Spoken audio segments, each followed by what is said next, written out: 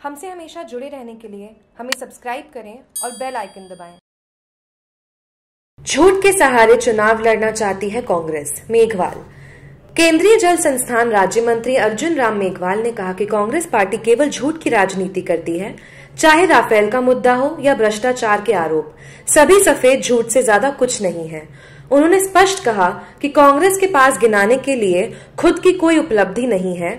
यही कारण है कि भाजपा और भाजपा नेतृत्व वाले केंद्र और राज्य सरकारों पर झूठे आरोप लगाकर जनता को भ्रमित करने का दुष्प्रयत्न किया जा रहा है। वे रविवार को यहाँ पत्रकारों से रूबरू थे। उन्होंने कांग्रेस को झूठ का पुलिंदा करार दिया और कहा कि कांग्रेस हिट एंड रन की नीति पर चल रही है, यानी कांग्रेस के नेता झूठ बोलकर भाग जाते हैं। राफेल डील से अपनी बात को बल देते हुए मेघवाल ने कहा कि राहुल गांधी राफेल डील को लेकर केवल झूठ बोल रहे हैं।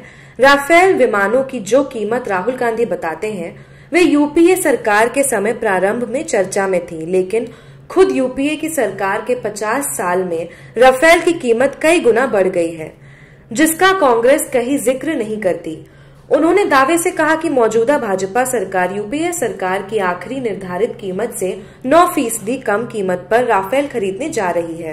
पहले से चल रही सरकार योजनाओं के नाम बदलने के सवाल पर केंद्रीय मंत्री ने कहा कि मोदी सरकार ने किसी सरकार योजना का नाम नहीं बदला, बल्कि पूरी योजना ही बदल दी है। उन्होंने कांग्रेस के नेताओं को चुनाव प्रचार के तरीके पर आपत्ति जताई। कांग्रेस के कद्दावार नेता सीपी जोशी के जाति संबंधी बयान को लेकर केंद्रीय मंत्री ने कहा कि जोशी उमा भारती, साध्वी रितंबरा और प्रधानमंत्री नरेंद्र मोदी की जाति पूछकर देश को जाति और धर्म के नाम पर बांटने की राजनीति कर रहे हैं। एक सवाल के जवाब में मेघवाल ने कहा कि मुख्यमंत्री की लड़ाई भाजपा में नहीं है कांग्रेस में है।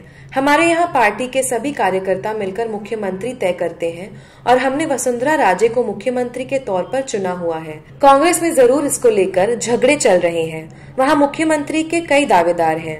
राम मंदिर को लेकर पूछे गए सवाल पर मेघवाल ने कहा कि अव्वल तो राम मंदिर का मुद्दा नया नहीं है, बल्कि सन उन्नीस सौ उनचास से ये प्रकरण न्यायालय में चल रहा है। मंदिर का मुद्दा हर बार कांग्रेस उठाती है और हमको जवाब देना पड़ता है। भाजपा और इसके कार्यकर्ता चाहते हैं कि राम मंदिर का निर्माण होना चाहिए, लेकिन कांग्रेस का नज़रिया स्पष्ट नहीं है। ये कांग्रेस से पूछा जाना चाहिए कि वो राम मंदिर के पक्ष में है या खिलाफ है।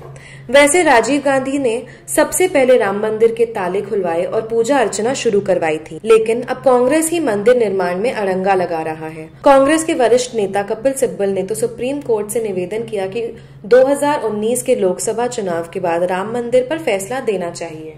जोधपुर से जागरूक टीवी की रिपोर्ट।